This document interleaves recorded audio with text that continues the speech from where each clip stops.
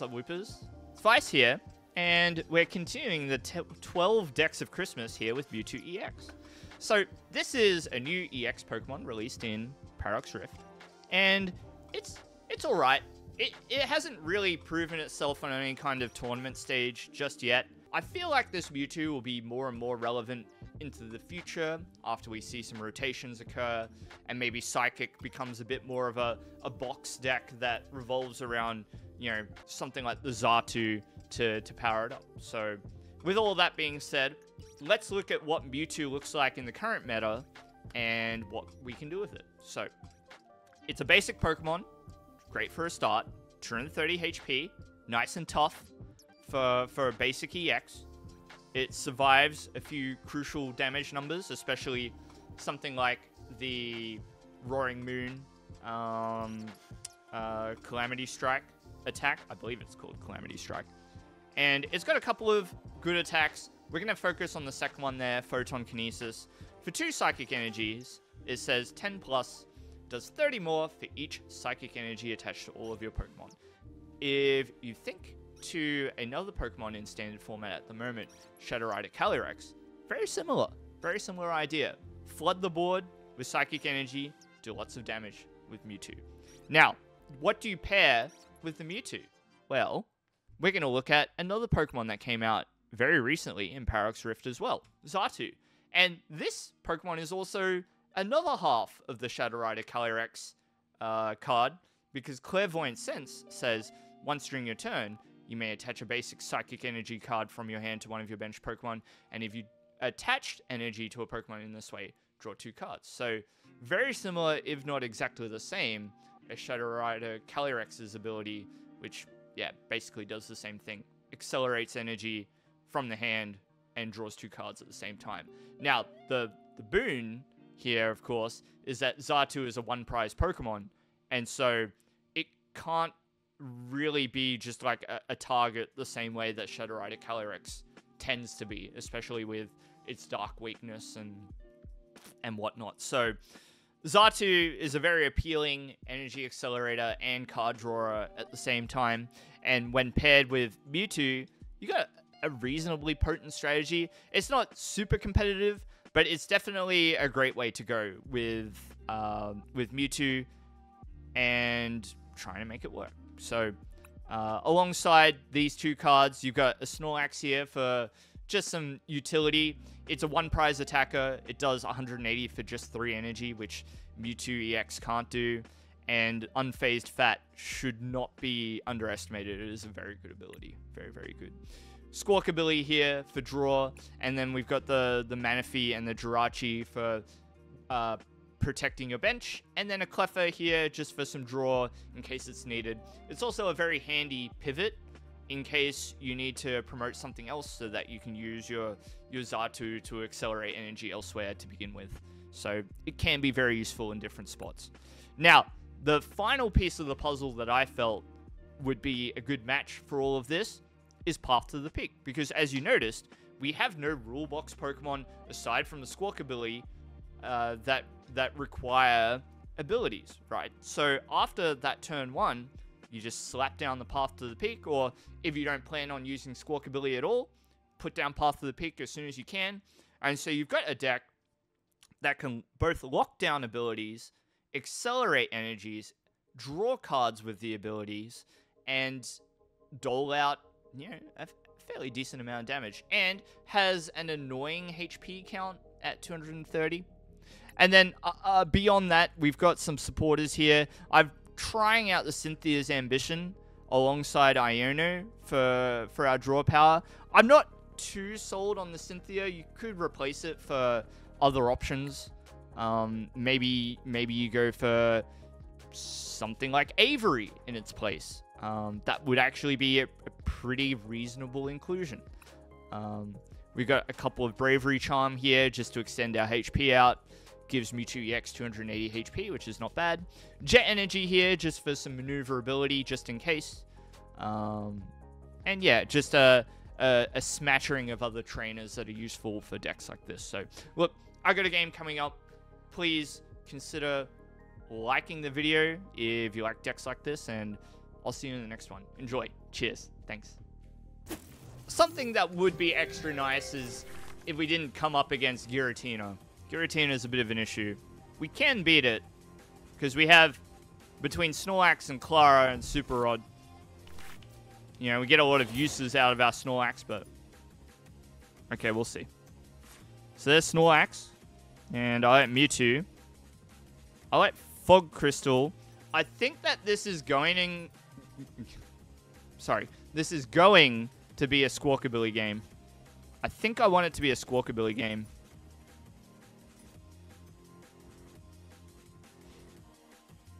Why I don't want to, uh, what, run Mysterious Tail, or...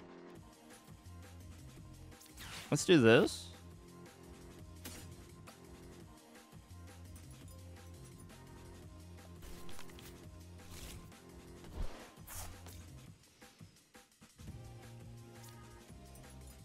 I think it's going to be Squawkabilly. I probably shouldn't have attached to the Natu. But it's fine. Put it somewhere.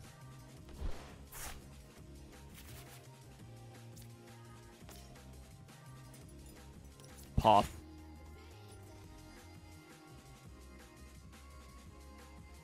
Alright, we'll see. So, the thing with Xatu is that you can't attach to your active Pokemon with the ability, that would just be would just be silly, wouldn't it? Uh, and of course, you had the the counter stadium in hand. Yeah. No such luck, huh?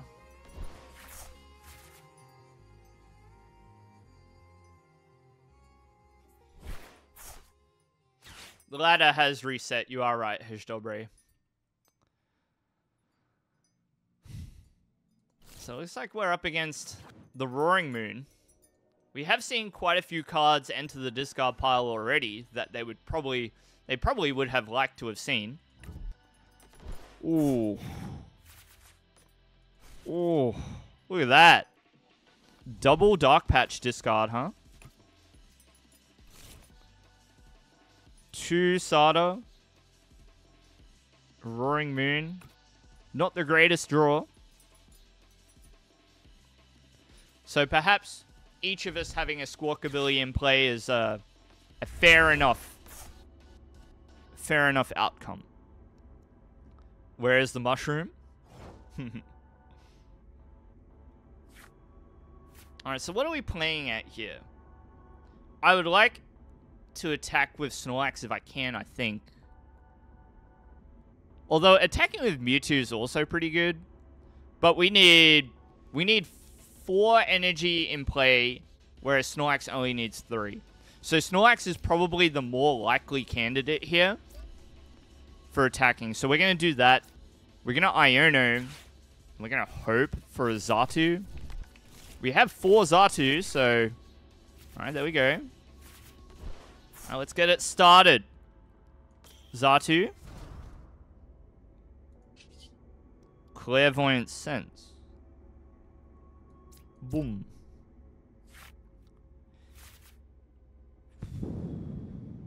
I'm considering spinning. Because if we hit things like, uh, if we hit a, a crystal, then we can crystal for an energy, we can ultra ball for another Xatu. So I'm going to Pokestop. No good. Oh well. Um, oh, and we'd already attached as well. That's no good. Hmm. Triple strike it is.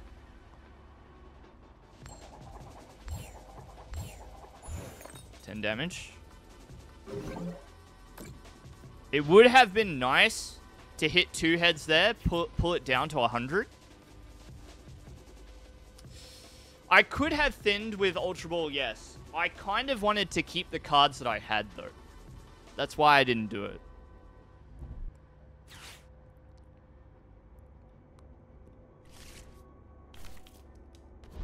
Yeah. It's kind of like discard some some pretty nice cards in exchange for slightly better odds that I get the crystal. So I didn't want to do it. And then what did we discard in the end? Jirachi. So those two would have been really nice to keep. But they're not... They're not, like, required. I, either of them are not, not especially required in this matchup. So, we'll see.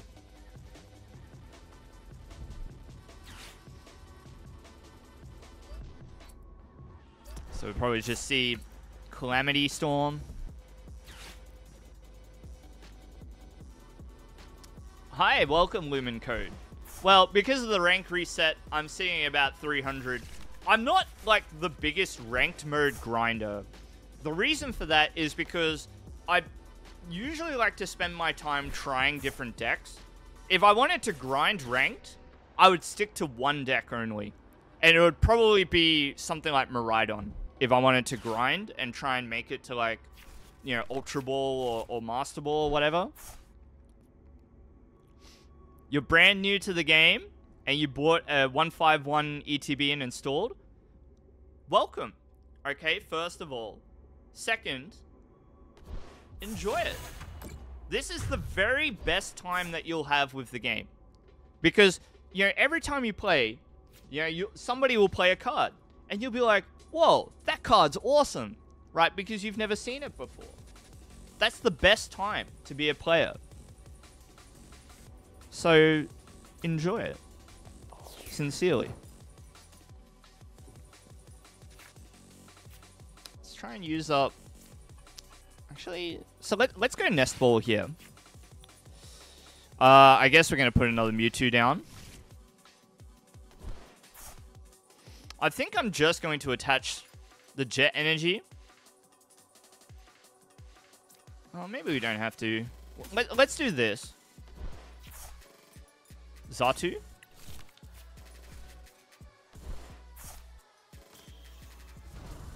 And let's Ambition. Then, Clairvoyant Sense. I want to draw more cards, right? Okay. Clairvoyant Sense. Boom. I'm going to use up a jet energy here. Actually, no, no, no.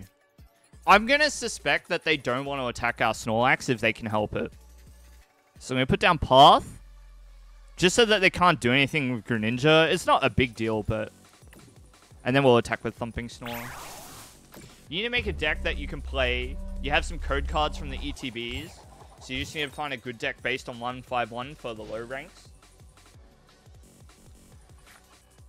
the Arcanine deck that you got for free can't cut it. Alright, I got you. So, Lumen Code, the first thing I want you to do is go to the Battle Pass and buy the very cheapest option. Just the 600 purple crystal option, assuming that you've got enough crystals to buy it. But that's the very first thing I would like you to do, if you can. Oh, okay. Thank you. Goodbye, Squawks.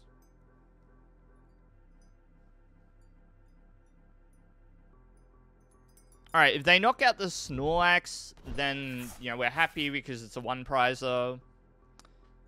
And then we can try and finish it off with our Mewtwo.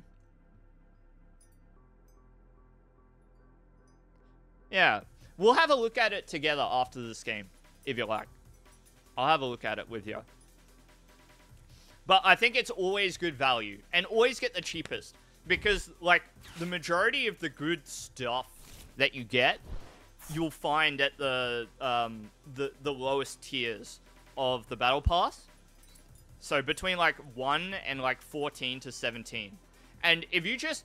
So if you play for two weeks, all I want you to do is play for two weeks with whatever deck, um, and just do your daily missions and you should be able to go one uh, tier every day, and you'll be fine. Alright, so we don't have to do very much damage to get the KO here. So let's do, let's go Mewtwo. No worries, Lumen Code.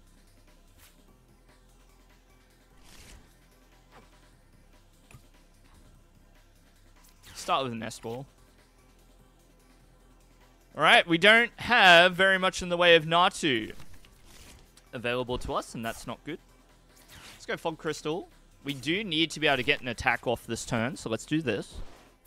We're going to attach it, leave nothing to chance. I kind of want to hit them with the Iono, right? I kind of just want to do that. And they don't have to take very many prizes to win here. I, I mean, like, they, they're going to attack two Mewtwo, so I don't think there's any value in putting this down. So we're just gonna we're gonna Iono. Yeah, definitely get on the missions. Alright, and so what I need to do now is try and draw out that super rod. So let's see if we get it here. Well, well, well.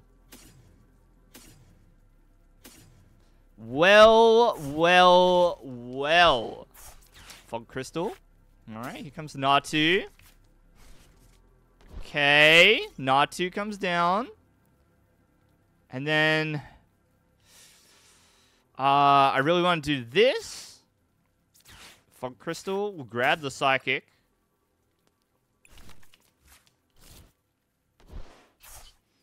Alright, Clairvoyant Sense. Okay. Attached to itself.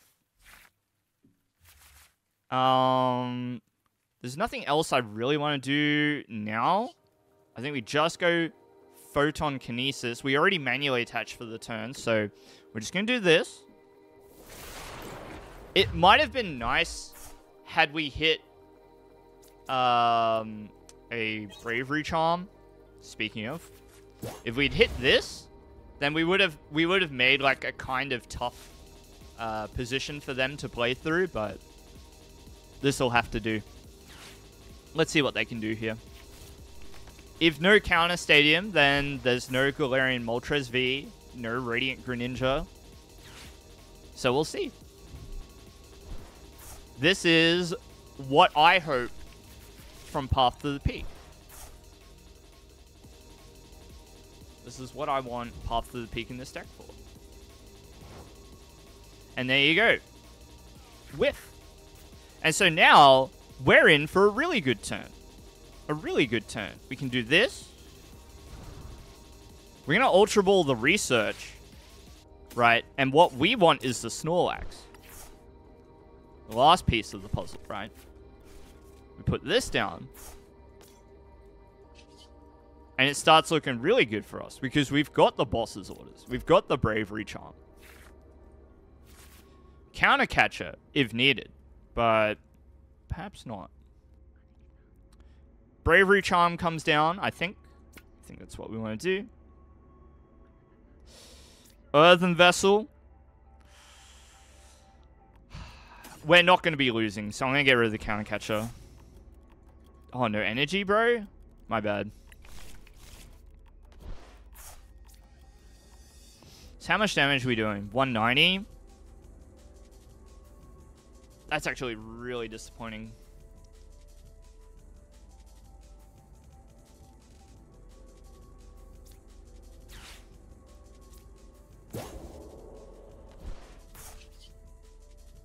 Dang. I just didn't have the energy. My bad. Bit of a misplay there. Now, counter catcher would have been really good to have kept. But instead, we've lost both of our gusting options in the one go. Yes, I think you should, Hedge Hejdobre. The thing that Roaring Moon is um, in dire need of is more complicated lines of play being available to it. That's the thing that it really needs. Hmm.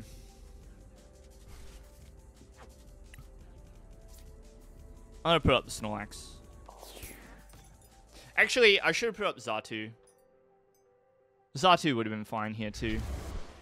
Sora! Thank you so much, Lumen Code for the follow.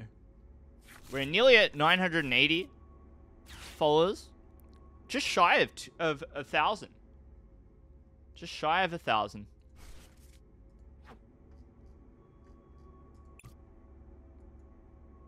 You know, my mission with this um, with this channel and, and sort of what I do here, both here and on the YouTube, which I'll link,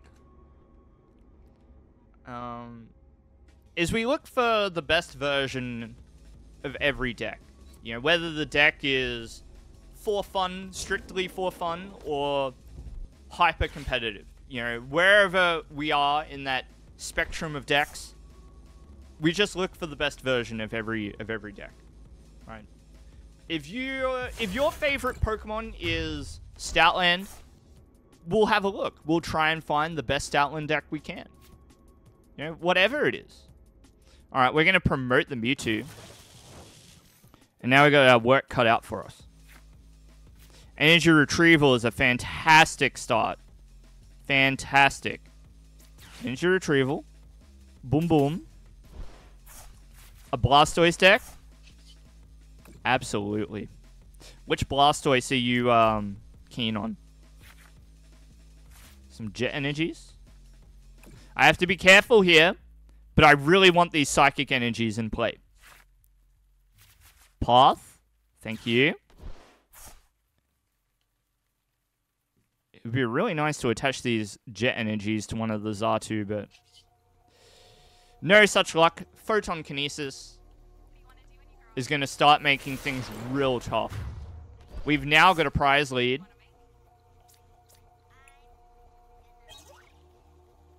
And another Psychic Energy to work with. Not bad. Jet Energy is fantastic as well. Fantastic. Ah, the EX then. Yeah, the EX has got a lot going for it. It's not like the most competitive deck out there, but uh, very cool nonetheless. I'll try and find a list for you.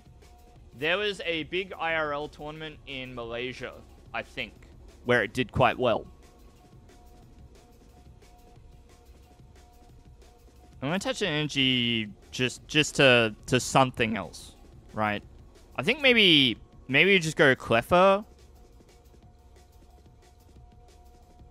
Um, yeah, I don't think we get punished for doing that.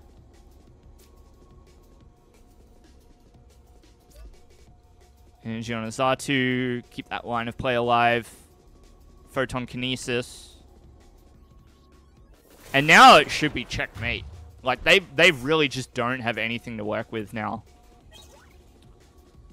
It's funny, right? When this deck works well, it's because Path of the Peak did its job. And when Path of the Peak is doing its job, it looks very one-sided, right? They didn't get to use Greninja. The Moltres was a bit inert for, for a few turns there. So, I don't know. It's it's hard to assess the overall effectiveness, but right there on the final turn, you just click attack with the Mewtwo, and you take the KO. So there's a good game on the books. This will probably make its way onto YouTube, so for all of you who are still here watching at home, please consider subscribing to me on YouTube and following me on Twitch. And I'll see you in the next one. Thanks.